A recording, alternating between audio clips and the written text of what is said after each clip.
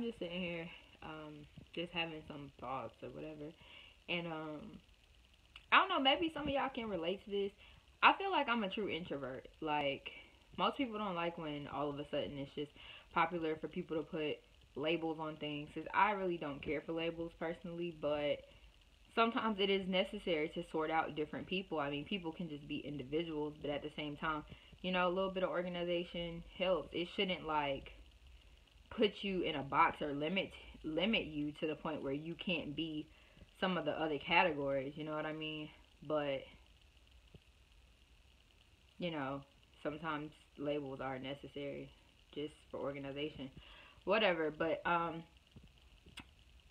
you know, I feel like I'm really, really an introvert. Like, I was younger and I was kind of like antisocial. Like, I had anxiety with people.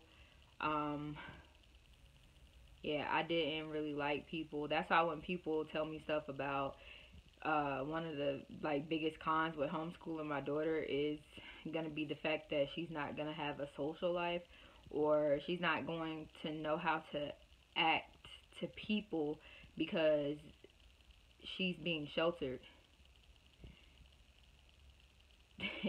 and then like when they give me that excuse it's just like okay y'all telling me about these one or two people that y'all know personally that were homeschooled and act a little like socially awkward but name me all of the homeschool kids that act completely normal as if they were like in a more public school setting like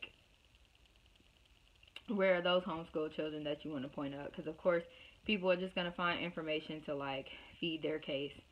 Um. So, I mean, I'm like one of those kids that were the opposite. Like I was in public school my whole life. Like I remember being in daycare, like daycare, like when I'm like four and five. Like no, no, no, like three and four years old. I remember um, that type of daycare setting. And, you know, I wouldn't say like I was um like antisocial, but like I ain't really like people even at that age. Like I wasn't trying to be all up in nobody's face or like I, I it was just weirded out. It was like why am I here? Like where's my mom? Cause I'm like damn, my mama leave me here like every day. And it's like I don't get to see my mama like that, but I get to see like other kids. Like it was just weird to me. Like even at the age of three or four, I'm just like these are strangers. Like I don't know, I don't know none of y'all, but like y'all care for me like every day. Like it was just weird. I always questioned it. So like when I got in middle school, like I was really, really socially awkward. Like I talked to people, but like I never had a category to like go in. Like I wasn't popular, but I wasn't lame. Um, and this was the same case for like high school. Like, I just was, I don't know, I was just me. Like, I got along with everybody. Like, I didn't feel the need to like do things to fit in the popular category, or like, I didn't feel the need to like want to go join a sports team so that it would get me more like notice. I wouldn't like, oh, I gotta be at this uh, this party or uh, this sleepover or whatever um, to keep my rank up. Like I I wouldn't like oh I'm gonna go to school in the flyest outfit and you know like come dressed best all the time just to be socially accepted. Like I don't know. I just feel like that was the mindset of like like middle school, high school. Like I wouldn't like oh I gotta find the finest boy to date so I can be most talked about or like fit in most or people want to like like me. Like that shit was lame as hell to me. like people associated themselves with certain people for the simple fact that hold on, my homegirl trying to text me.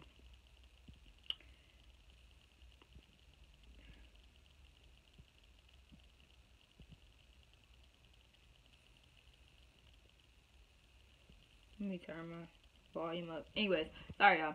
So um what was I saying? I was saying that um in school, like I never did anything to like stand out. It it was kind of lame to me.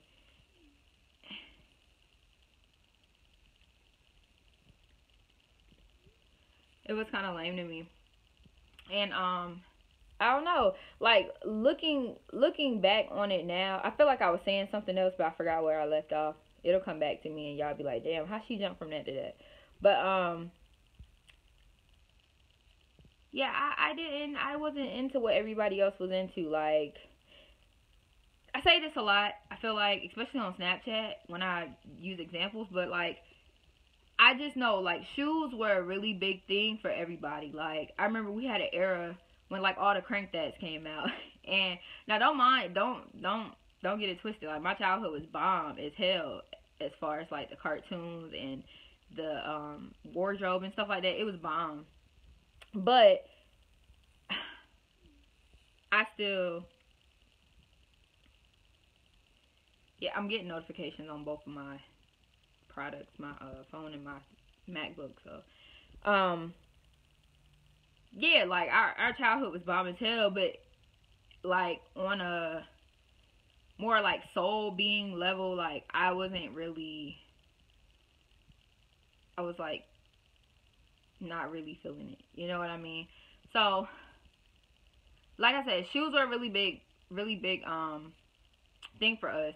So or for everybody else, excuse me. So like I I remember the crank that era when the uh bathing apes came out and like and this might have been before that. That might have been when Nelly came out with Air Force Ones, and I don't remember what year that was in. But we was probably like in middle school, and it was a really big thing for people to have like matching tees with the shoes. So like they, well, at least down here, I'm in the South, so um, the guys thing was at one point in time like it was the big long, extra long T-shirts that look like nightgowns, and then their jeans like sagging like hella hard, like but then they had the era where they had like the big t-shirts and the um the outer it was two t-shirts. So the outer t-shirt was smaller uh, like a size or two smaller than the under t-shirt they had on and the only thing they did was they they flipped their sleeve uh they wrote like one layer of the sleeve up so that you could see both colors showing and they would match their uh forces with them because forces was a, a really big thing like air force ones. Those were a really big thing um for a lot of people. I feel like those at one point were more popular than jordans were to me. Um so they would like match all their clothes like that and then just wear like jeans. Um i didn't really pay attention to the female like wardrobe. I don't know why. But yeah like i just didn't feel necessary to have the latest forces or the latest Jordans or the latest brand of clothing. Um, I didn't I didn't feel the need to associate myself like I didn't feel the need to obtain these things that everybody else was obtaining by like putting value on whether like by saying by determining that if you have these things that you're cool like it, it was strange to me. Like everybody was always trying to like be in the livest like clique or group. Like if you had that popular group that everybody like just was drawn to, and then like everybody deemed like they're the coolest, mostly because they were like orchestrating things. Like they were putting stuff together. Like they were putting together the parties that were just, you know, like dope. Like, you know, they were the kids that like smoked and like just I don't know, we're I guess leaders and like everybody just, you know, kind of attracted to that. But I I just used to always sit back and observe and just be like that's what they do. Like I, I just was never drawn to it. Like I was kind of like a neutral party. Nobody ever really noticed it though because you know everybody was you know had their own stuff going on with trying to keep up you know being popular I was like, what the hell is that? For my laptop, that low key scared me. But um, yeah, like I wasn't, I wasn't into it. But I said all of that to say, I, I'm I'm like a natural born like introvert. Like I really can't be around people for too long because I feel so drained. Like whether I'm talking to somebody on the phone, whether somebody's like in my like personal like space or like I'm at work or I'm just around like energies, like whether it be that one energy for a long in time or whether it's multiple energies I'm dealing with, like I get drained really fast, and so I need my alone time because you you you um disperse your your time and your energy to several different beings um every single day. Like for instance like if you're around your parents you're interacting with their energy. You um you're doing things for them um you're around them. Um if you have a child and you take care of your child like 24 7 um after you just came home from um you know a job that you're giving energy to or you just had to go to a doctor's appointment and it's not the best news you want to hear you know you're giving your energy to that or maybe it is you know good good um news i don't know but you're still giving your energy to it so it's just like you just got to make time for yourself. It's not saying as in giving energy like it just really really like drains you physically. It could be draining you mentally. It could be draining you um emotionally like um in either direction but it's still energy. So i feel like that alone time with yourself just to reflect on yourself or you know meditate to quiet your mind so that you can you know really really relax and you don't have to have these stresses weighing on your brain even when you're alone and away from other people. Um you know you just you just got to make time for yourself. And that's what i'm realizing. These are like reflection videos that i just do. Um when i'm just feeling thoughtful which is why the first video i named um thoughtful which the word itself means full of thought. So i'm i'm just an introvert and i'm just learning like it's okay to say no and I, I feel like it's cliche saying cliche saying them because you'll see like Instagram posts or memes or whatever like uh float around the internet and it says like self love and pretty much like taking care of yourself is um I feel like I lost what I was saying. I did lose track of what I was saying. And it was something good too. Y'all, look. I hate that. Don't I hate when y'all lose y'all thoughts? I know, but you just you're you're just dispersing energy, so it's just it's just nice to sit there. I was talking about the Instagram post.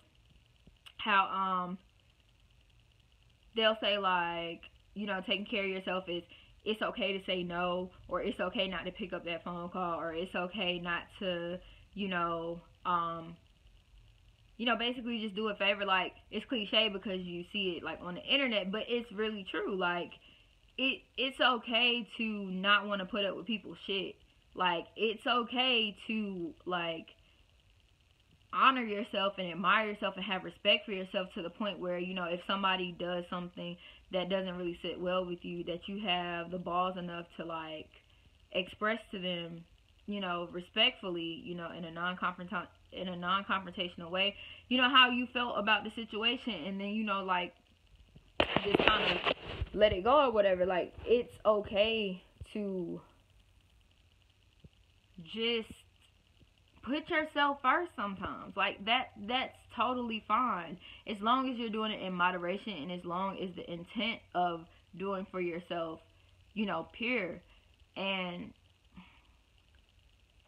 I just like these reflection videos. Like I mentioned in my other video, like I sit and I just like talk or whatever.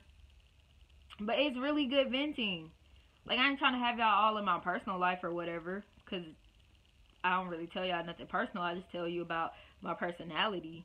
But you know, it's just really, it's just really cleansing, and um, it feels good to finally like put my stuff on my channel and you know in hopes to help somebody else or you know maybe somebody else is just like damn i feel alone and then like run across my videos and just relate to me so much and i don't know y'all get what i'm saying but yes yeah i'm about to end this video because i feel like i went from talking about my daycare to like talking about jordans because i like skipped the gap in between there whatever, we're not gonna backtrack because that's just gonna be worse.